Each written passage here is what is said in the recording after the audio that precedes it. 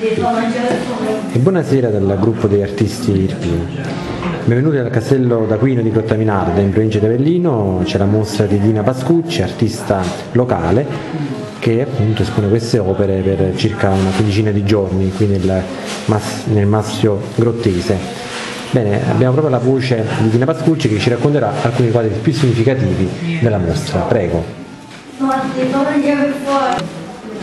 Salve, buonasera a tutti, sono l'artista autodidatta, specifichiamo Dina Pascucci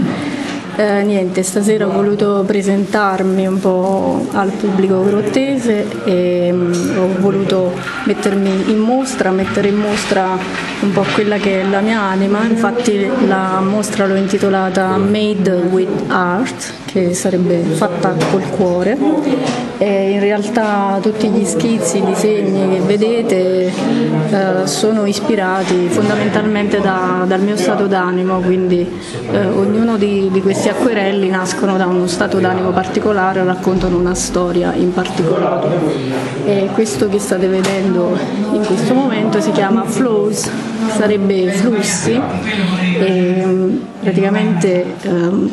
eh, un po' eh, ispirato al movimento orientale dei chakra, eh, si, vede, si, vedono i colori dei chakra esplodere dalla testa, mentre il corpo resta grigio eh, per indicare che eh, la maschera non è tutto ciò eh, di importante che esiste nella vita, in realtà è quello che abbiamo dentro che prima o poi viene fuori e esplode come un vulcano che è la cosa più importante. Infatti vediamo proprio il vulcano che erutta dalla testa.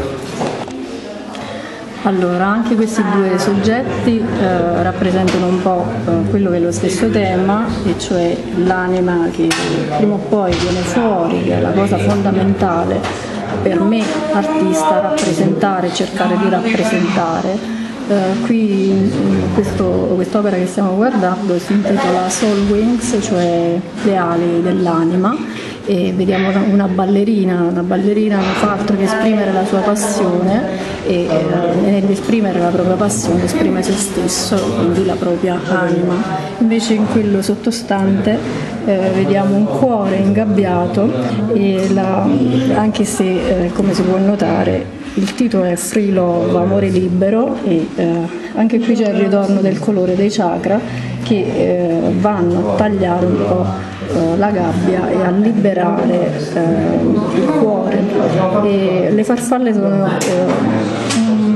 diciamo, un soggetto che ritorna spesso nelle mie opere perché eh, la farfalla è proprio il simbolo dell'anima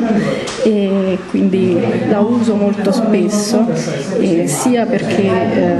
per i colori sia per la fragilità e la sensibilità che un po' mi rappresentano. E, e niente, qui il flusso che vediamo di colore che fuoriesce è quella dell'energia dell'amore che ho rappresentato in mo- questo modo.